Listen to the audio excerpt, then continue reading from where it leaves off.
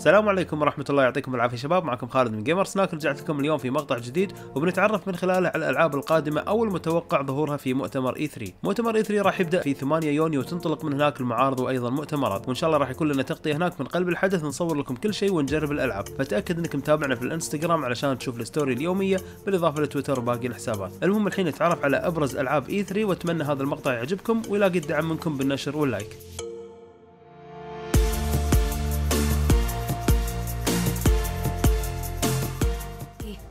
She's lying. Search the area.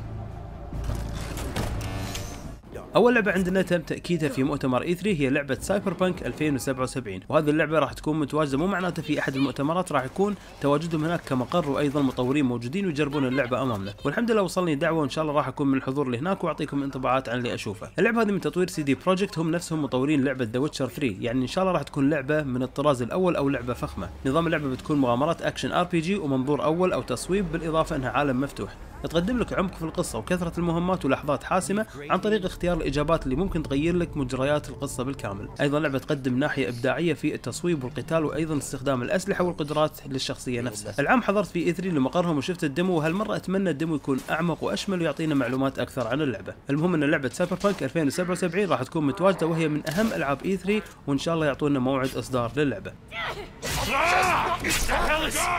Looks like he's having a problem now. But I think they were messages. It's your grandmother's? ثاني لعبة راح تتواجد في مؤتمرات E3 هي لعبة Gears 5 وبالتحديد في مؤتمر Xbox نفسه وهي أحد أجمل سلاسل الألعاب الحصرية لل Xbox شفناها العام الماضي في عرض مشوق وشوية gameplay لكن هالمرة أتمنى يكون لها تجربة ونجربها بنفسنا ونشوف أيضا تفاصيل أكثر عن هذه اللعبة. اللعبة هالمرة بتكون أحداثها تركز على شخصية ثانوية وراح يكون Marcus Fenix مجرد شخصية مساعدة في القصة. فعلا جهاز Xbox محتاج حصريات من هذا النوع وإن شاء الله تكون اللعبة قد التوقعات وأيضا مستوى أعلى من السابق وهي بتكون أحد ألعاب E3.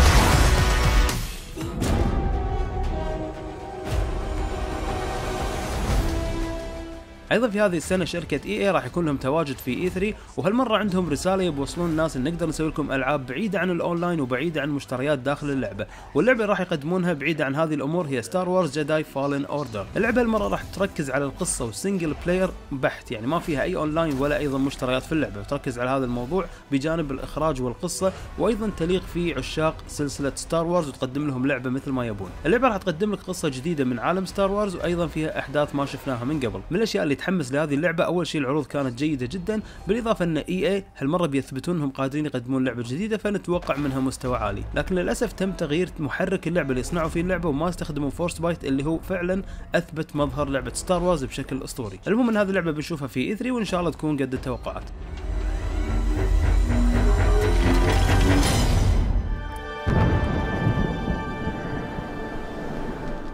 نرجع مرة ثانية لل Xbox وأحد العناوين في E3 راح تكون حصريتهم Halo Infinite وهالمرة الإصدار الجديد للسلسلة بعد انقطاع المفروض ترجع بأعلى مستوى ممكن خصوصا أن تم صرف مبلغ خيالي على تطوير هذه اللعبة؟ ما وصلته أي لعبة ثانية من قبل. Halo راح تقدم لك أسلوب وأفكار كما السابق من ناحية قصة و single player تقدر تلعبها لحالك أو مع أربع لاعبين co-op بجانب الأونلاين المنوع وال playlist اللي نعشقها في لعبة Halo بالإضافة أن الاستديو صرح أنه ما راح يكون فيها battle royale بس إذا كنت تفكر في هذا الشيء ما راح يكون موجود في Halo المهم إن لعبة Halo Infinite راح يكون لها تواجد في E3 وإن شاء الله نشوف Master Chief وعمق أكثر في القصة ونشوف gameplay فعلي للعبة. وإن شاء الله إذا جربناها أيضا نعطيكم رأينا فيها.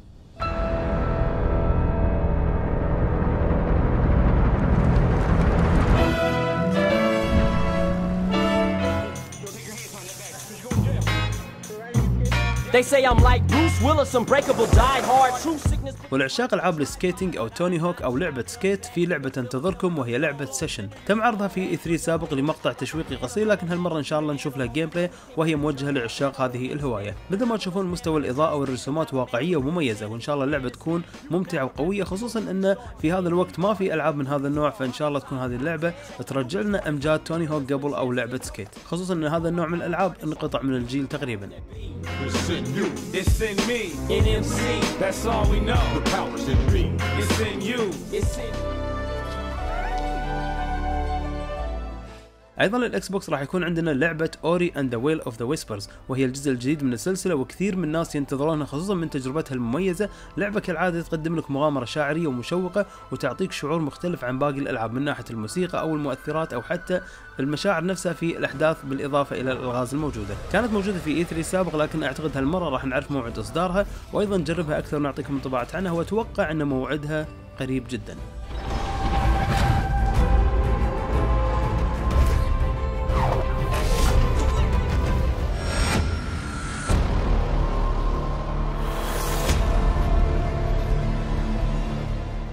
أيضا في E3 تم تأكيد تواجد لعبة Control وإن شاء الله بيكون لي تجربة لهذه اللعبة وهي لعبة من تطوير استوديو Remedy المميزين في ألعابهم واللي سوونا لعبة Quantum Break قبل على ال Xbox. اللعبة تتكلم عن بنت عندها قدرات خاصة واحد هذه القدرات إنها تحرك الأشياء والبيئة من حولها تستخدمهم كسلاح ضد الأعداء وعندها بعض القدرات الثانية راح نستكشفها بعدين. وكل القدرات هذه الموجودة راح تنعكس على الأحداث وأيضا قتال الأعداء وال gameplay والقصة نفسها. اللعبة ظهرت في E3 العام الماضي بشكل مبسط لكن هالمرة بنعرف عنها كل شيء بالإضافة إن اللعبة راح تدعم اللغة العربية.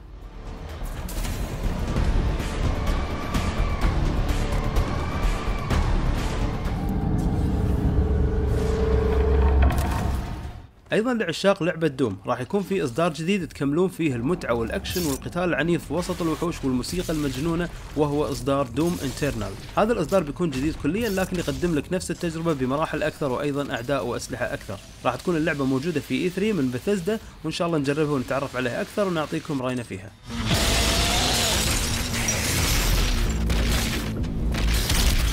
Damn, there's nothing here either.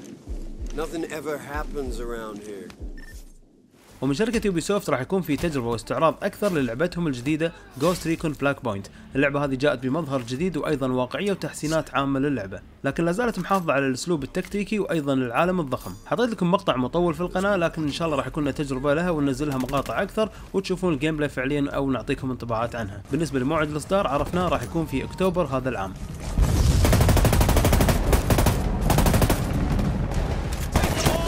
Story arcs that give Marcus Holloway a fresh set of tech villains to smack down, unique hacking أيضا في اشاعات شبه مؤكده للاصدار الجديد للعبه Watch Dogs 3 من Ubisoft والمفروض ان يقدمون الجزء هذا افضل من السابق بغض النظر عن موضوع القصة وأيضا الاحداث نبي موضوع ال gameplay يتحسن بشكل كبير وان شاء الله نشوفها في E3 واذا كنت تحب العاب المغامرات والعالم المفتوح خل هذه اللعبه في بالك وان شاء الله نشوفها في E3 وان شاء الله يكون لنا تجربه لها ونعطيكم راينا فيها enemies and a whole other operation still to be revealed in the horrors of the day.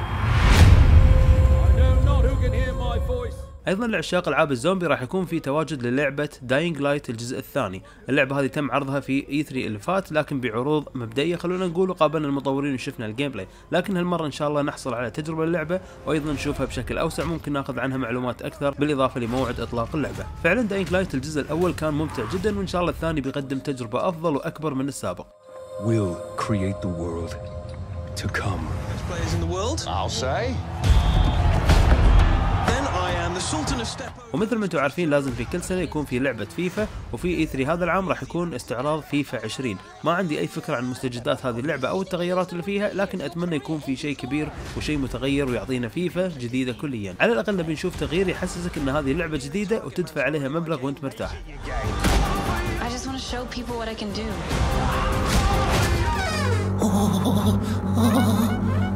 ولمستخدمين Nintendo Switch لازم تحطون في بالكم لعبة Luigi's Mansion الجزء الثالث. راح تكون متواجدة في E3 واللعبة هذه تقدم لك مغامرات platform واستكشاف وأيضا ألغاز وتركز على عنصر المفاجأة والرعب بالإضافة للكوميديا. لعبة حلوة في إصداراتها السابقة وإن شاء الله هذا الإصدار يكون قد التوقعات لل Nintendo Switch.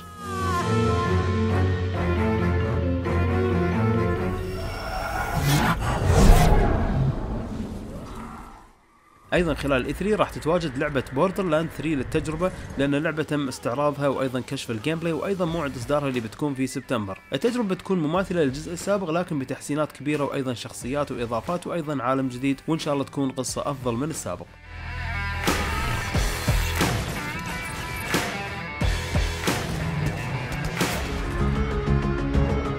Welcome to the edge. ولعشاق العاب ال RPG والعالم المفتوح راح يكون في لعبة اسمها Outer Worlds، اللعبة هذه متوعدين فيها وبتكون لعبة كبيرة وقوية وتتضمن أشياء كثيرة وعالم كبير في المغامرة، مبدئيا من العروض اللي شفناها وبعض المعلومات والناس اللي مسوينها مشتغلين على سلسلة Fallout أتمنى تكون هذه اللعبة قد التوقعات.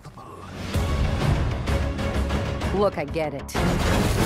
Taking on the corporation has left us with two. اما الحين مع بعض العناوين بشكل سريع والأشياء اللي راح يتم عرضها في E3 راح يكون في إصدار جديد لجهاز Sega القديم وهو Sega Genesis Mini. راح يتضمن 40 لعبة ويتضمن كنترولرين وأيضا HDMI وبالنسبة ل Call of Duty Modern Warfare طبعا شفنا العرض للعبة المبدئي للقصة لكن في E3 راح يكون في معلومات أكثر لل multiplayer وباقي الأمور واحتمال نشوف لها gameplay ومعلومات أكثر. من جانب ثاني مستحيل EA تسكت وتخلي Call of Duty تصدر في سنة بدون ما يكون في أي شيء. فاحتمال يكون عندهم كشف ل Battlefield الجزء السادس بأحداث جديدة كليا. ما في شيء رسمي لكن مجرد توقعات. أيضا طفح الكيل من جمهور Elder Scrolls ولازم بثيزدا تورينا شيء عن الاصدار الجديد للعبتهم القادمة أو لعبتهم Elder Scrolls بالجزء الجديد. خصوصا أن سابقا تم ظهور عرض تشويقي فلازم الحين هذه السنة نشوف شيء جديد عن Elder Scrolls أيضا Ubisoft مطالبة بالإعلان عن أصدار جديد لسلسلة Splinter Cell لأن فعلا طال الانتظار والمفروض أن هذه فرصتهم بعد تنحي سلسلة Metal Gear عن الساحة لازم ترجع Splinter Cell فهذه مجرد توقعات لكن ما في شيء أكيد. وبالنسبة لل timeline أو التوقيت السنوي المفروض أنه يكون في لعبة Forza جديدة والمفروض أنها تكون Forza Motorsport بالجزء الثامن متوقع أن نشوفها في E3 هذا العام وبتكون أحد أكبر حصريات ال Xbox طبعا Final Fantasy الجزء السابع ال remake ظهر لها إعلان تشويقي لكن نتمنى في E3 راح يكون لها تجربة وأشياء أكثر بالإضافة لموعد إصدار. أيضا شركة Capcom بعد الملايين اللي طلعوها من Resident Evil 7 و Monster Hunter و Devil May Cry و Resident Evil 2 remake فهم مطالبين في الإعلان الجديد عن لعبة Resident Evil 8 أو ممكن Resident Evil 3 ال remake. شخصيا أحب Jill وأحب Resident Evil 3 وأتمنى أشوف لها remake لكن أتمنى إني أشوف Resident Evil 8 أو Resident Evil جديدة أكثر. مثل ما أنتم عارفين تم إلغاء لعبة Fable سابقا لكن في إشاعات يقول لك إن احتمال ترجع في E3 هذه السنة لعبة Fable أو تلميح عنها وأنا اتمنى صراحة إن نشوف Fable 4 وتكمل اللعبة مثل نسقها السابق عبارة عن مغامرات وعالم مفتوح. طبعا ما راح ننسى العرض التشويقي اللي طلع للعبة هاري بوتر فأتمنى إنها تكون موجودة في E3 ونشوف لها معلومات أكثر و gameplay في هذه السنة.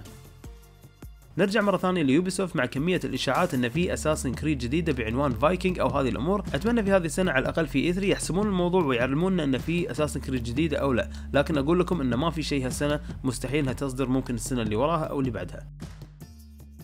وفي إشاعات قوية تقول لك إن راح نشوف لعبة Avengers جديدة بعنوان Project وهي من تطوير Square Enix غير موضوع لعبة ال Switch راح يكون في لعبة ثانية لل Avengers وأتمنى هذا الشيء.